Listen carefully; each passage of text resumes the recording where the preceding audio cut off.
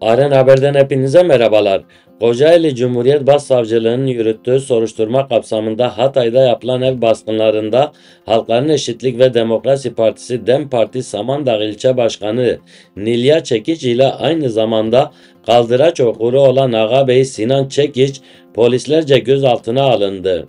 Gözaltı gerekçelerini öğrenilemeyen Nilya ve Sinan Çekic'in Kocaeli'ye götürüldükleri öğrenildi. Konuya dair sanal medya platformu X'ten DEM Parti Hatay Kadın Meclisi şu paylaşımı yaptı. Samandağ DEM Parti ilçe eş başkanımız Nilya Çekiç'in de aralarında bulunduğu yoldaşlarımız sabah baskınıyla gözaltına alınmışlar.